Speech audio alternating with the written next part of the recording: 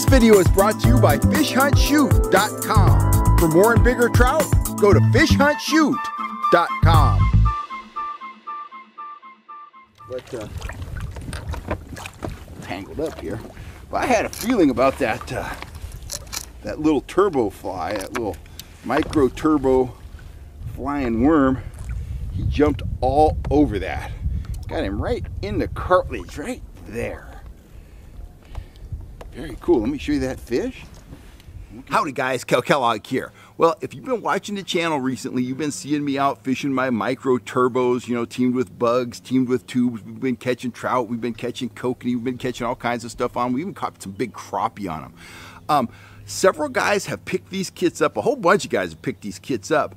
But uh, I've been getting some questions emailed to me about how to rig them. Most of the questions are in reference to, you know, to how to rig the uh, micro turbo tube kits. But I've been getting questions about the bugs too. So I'm to really quickly here, I'm to ramble right on through how to rig all of these, all of these kits up. We're to start with the tubes because there's two different riggings and, uh, you know, one for kokanee, one for trout and kings. There is some crossover, but let's get started. And this is probably the most confusing one here. I got them on a pool floaty, of course, so I'm just gonna set this down. Try to keep those from tangling all up. And uh, we'll get started. So, right here, I've got a tube rigged up for kokanee fishing, and it sports a pair of red octopus hooks. That's the traditional rigging for tubes. I've included octopus hooks in the turbo tube kits. So you've got the hooks you need. You need some 8 or 10 pound test fluorocarbon leader material. And here's what you want to do. Go ahead, poke a hole in the end of your tube, shove your leader material through the tube. Okay? Then what you want to do is snell on a pair of the octopus hooks, put them about an inch apart, just like that. Now, if you have questions about how to tie these knots, leave a question down below in the comments. And if there's enough, you know, interest in that, I'll make a video on how to tie those knots, but I don't want this to be a super long video. So once your hooks are in place, go ahead, slide that tube down, get that first hook up inside the tube like so. Let that other one, you know, you want that other one out near the back of the skirt. If you're kokanee fishing, put your, your kernel of shoe corn right there. And uh, that's going to draw the fish in and give them a nice target to strike at. Beyond that, once you got your tube in place on the leader, all you need to do is put on one of the included beads right there, slide on the turbo of your choice. That bead acts as a bearing for that turbo to spin against. Um, if you're kokanee fishing, you're probably going to want to be running this behind a dodger. You don't have to. You can run it naked for kokanee and you will catch kokanee on it, but most guys like to run a dodger, usually a four inch dodger. Just remember, put that rig two to three dodger links behind the dodger. If you're using a four inch dodger, eight, nine inches back, something of that order, just enough to impart a little dart and stop action to that rig.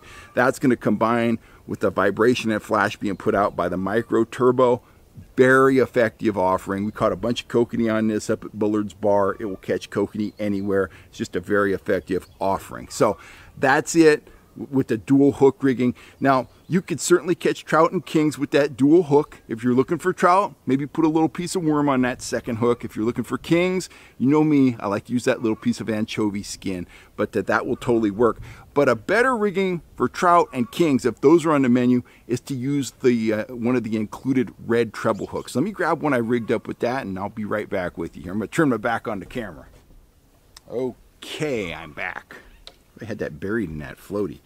So this rigging is a lot simpler than the kokanee rigging because you're only dealing with one hook.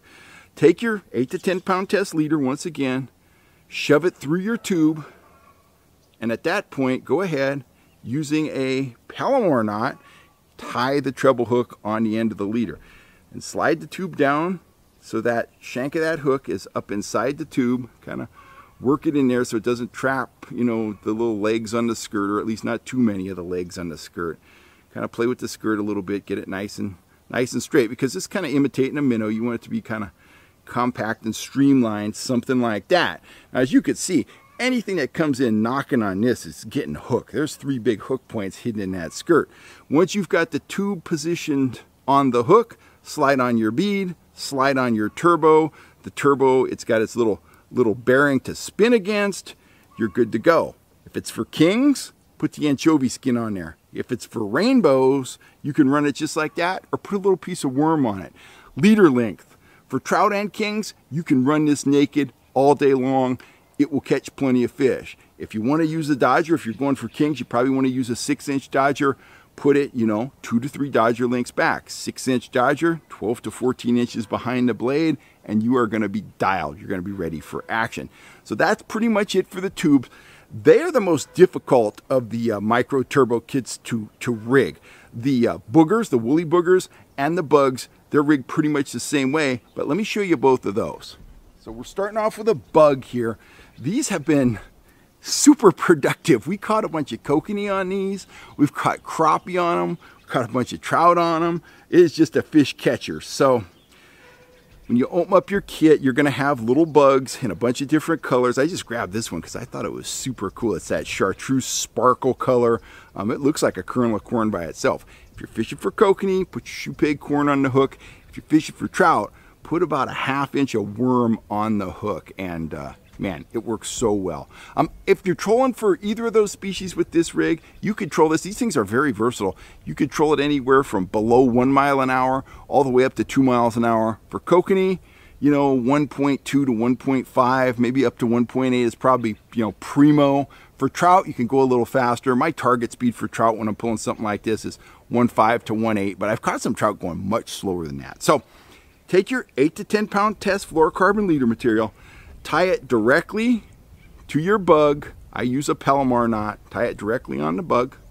And I used a bobber stop here. Those are not included in your kit because they're not necessary. You can run that, that turbo right on the nose of the bug. But uh, I added a bobber stop here so I can put some separation in there if I want to. But honestly, most of the time I've been fishing it kind of right about there, about a half inch or so, I guess, above the bug. And uh, you know, you can mix and match. You can go with a shiny turbo. You can kind of kind of match the color. I kind of got the chartreuse theme going on here with the green bead. And of course, don't forget your bead. Your bead, once again, is your bearing. That's what that little micro is going to spin against. Um, this can be run behind a Dodger, but uh, I've been running them naked and catching lots of trout on them. Um, we were teaming them with Dodgers up at Bullard's Bar. We were catching kokanee on them. Um, same rule of thumb applies, you know, two to three Dodger links back. So that's the rigging of the bug. And uh, last but not least, here is the turbo bugger. Now, just kind of globally speaking, the woolly bugger fly is just, just a deadly trout catcher. And uh, it's also a fly that you can very effectively cast from the bank using a water bobber. Very popular at Comanche, Amador, New Melones, stuff like that. So what I've done, I've just tied that woolly bugger on a piece of 8 or 10 pound test fluorocarbon line, just tied it on there with the Palomar knot.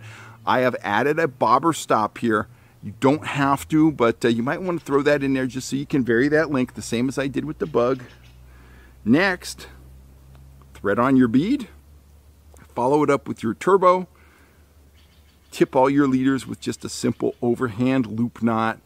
And uh, if you're a bank angler, you could totally team this with a water bobber, slow roll it in just like you would with a standard woolly bugger, but it's going to be even more effective because you're putting out uh, vibration, you're putting out flash, especially if you go with like one of those chrome blades, the rainbow colored one, but you're putting out flash, you're putting out vibration. It's just drawing in more fish and you can retrieve this very, very slowly, okay? You can retrieve it quicker too, so very versatile. If you're trolling it, same rules apply. You control this below one mile an hour. You can go all the way up to two miles an hour. You can tip it with a little piece of worm if you want, but I seldom tip a woolly bugger with worm. You got all that hackle, you got a little flash in there, you got the marabou. It is a very lively fly in the water. You team it with that micro turbo. It, uh, it's kind of the total package. It's a very effective trout offering. So that's it. Excuse me. That's how you rig your um, your micro turbo and woolly bugger. So that's pretty much it. If you guys have questions about the knots, leave a comment below if there's interest. I'll make a knot video. I'll show you how to tie the knots, um, how to rig these up even further, but I wanted to keep this fairly short. If you haven't got your micro turbo kits, go on over to fishhuntshoot.com and we will hook you up with what you need. We also got rods, reels, and more, all that stuff over there. Um, I got to get rolling here. It's nice and sunny now, but I got some rain coming in and I want to burn a couple big piles of brush tomorrow. So I kind of got to get, get positioned for that. Anyway, I'm Cal Kellogg. I'm signing off. I hope this helps you guys out. Now get out on the water and uh, put those micros to work. We're going to have some cloudy water after this rain and uh, they are going to be fish producers for you. I guarantee it. Anyway, I'm Cal Kellogg. I will catch you next time right here on YouTube, guys. Thanks for all the support.